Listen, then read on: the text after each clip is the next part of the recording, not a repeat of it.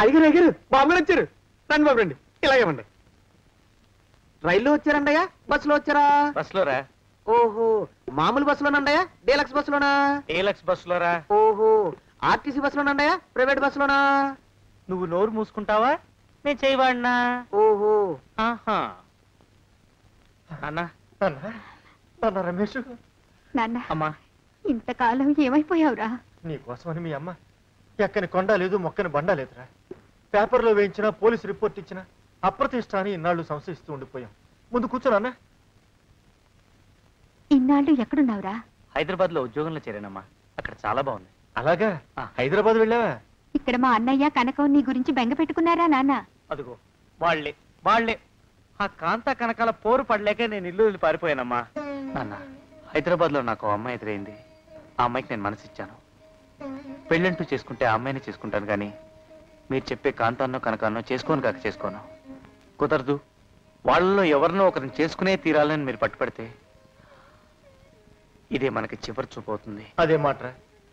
చెల్లెలు కూతురు కోసం కన్న కొడుకును కాదనుకునేంతటి మూర్ఖుని కాదురా నేను. మాకు నువ్వు కావాలిరా. అవునరా. అమ్మా. నీ సంతోషం కావాలి. బావా బావా. ఇన్నాళ్ళు ఏమైపోయి అల్లుడు? బావా బావా.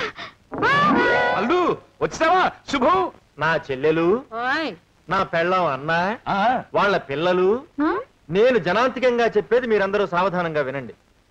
మా అబ్బాయి రమేష్ హైదరాబాద్లో ఒక పిల్లకు మనసిచ్చిన కారణంగా వీడి పెళ్ళి ఆ పిల్లతోనే జరిపించడానికి నిర్ణయం తీసుకున్నాం కనుక మీరందరూ పెట్టాబేడా సర్దుకుని మా ఇంటిని ఖాళీ చేసి పావనం చేయవలసిందిగా ప్రార్థిస్తున్నాను. అదేమిటి బావగారు? మా అమ్మాయి మీ కోడలనుకున్నాం మమ్మల్ని ఇల్లు పొమ్మంటావా?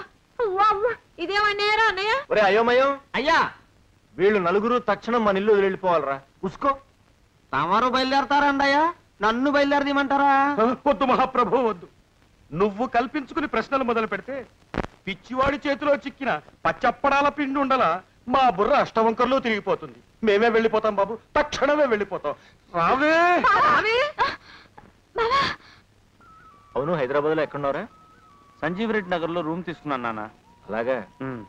అన్నట్టు రే హైదరాబాద్లో శానయ్య అని నా చిన్ననాటి స్నేహితుడు అక్కడ ఉన్నాడు. ఉమ్. నీకేదన్నా మాట సాయం అవసరం అయితే చేస్తాడు. అడ్రస్ ఇస్తాను ఓసారి అతను కలు. అలాగే నాన్న ఆయన పేరేమిటను శానయ్య.